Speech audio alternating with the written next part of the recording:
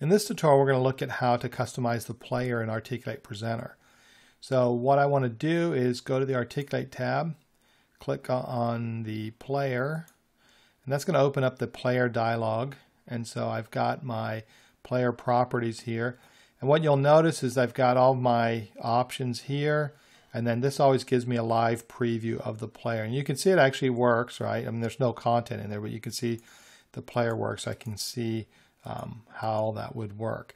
So uh, what we can do now is customize the player. So a few things you can do is you can customize the features. So here's a list of all your features and then you can turn those on or off or move them around and you'll see it live preview. Uh, we've got our menu so I can customize the menu here. I can add resources.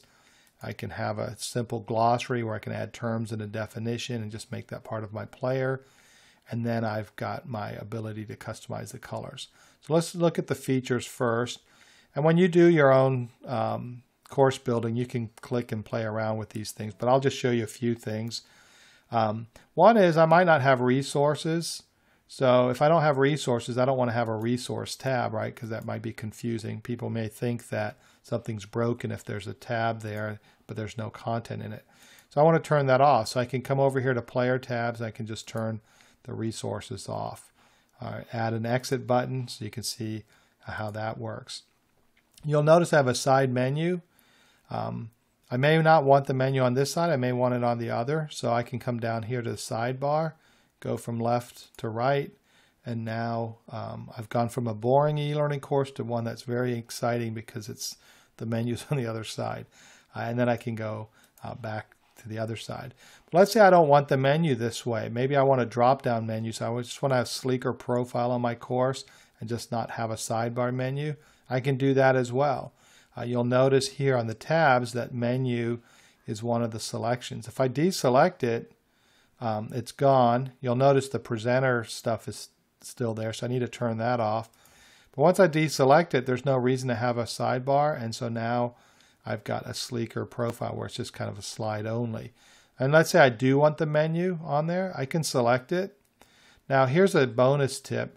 I usually deselect them before I move. And the reason is if I select this, see it has to redraw the player and then I move it up, then it has to redraw it and then I move it again. It has to re kind of build that player. So what I typically like to do is I'll just turn it off and then I move it into position. So in this case, it's going to be right up here on the left, and then I can select it, and then it's there for me. I don't have to wait for it to constantly redraw. And now I've got my menu available to me, but it's not um, taking up my screen space. So I kind of like that look. Uh, and you can customize the title and do some other things, turn things on and off. Uh, so just play around with those and, and see what you can do.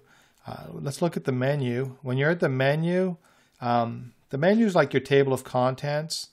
So you can say, well, I don't want, let's say I have animated boxes, but I want these other things right here to be subsets. So I can select an object and you can see I can make it a subset, right? So now all of a sudden, um, these are subsets, so it's all closed up and I can open it up. I've got my subsets.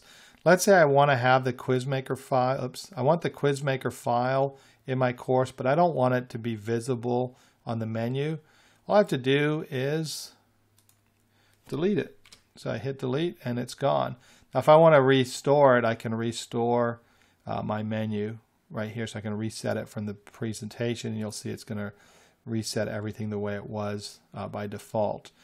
Um, so you can play around with that. You can uh, double click on the titles and change them. So I don't need to say engage. I can just say accordion uh, interaction if I want to.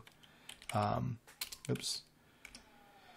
I could, uh, you know, call this um, knowledge check uh, rather than quiz, you know, so whatever I want to do. So you can see, and then I get a real-time update. Let's say I don't want the numbering. Uh, there's things you can do, like I can change some options here. Uh, my navigation, let's say I don't want numbering, so I can turn that off, hit OK, and all I'm going to get is the titles. So a lot of neat things you can do uh, to customize that.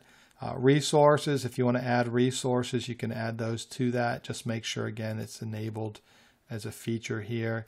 Glossary, you can add a term and then a simple definition. It's not a really complex glossary, but if you want just a simple one with terms and definitions, it's a good one. Otherwise, you can use the Engage uh, glossary interaction if you want to build out something a little bit more dynamic. And then, of course, you can change the color scheme. So you can do some quick color schemes here, right, like this, or you can do the advanced color scheming and then you can have complete control and get it to look exactly like you want it to look uh, for your brand.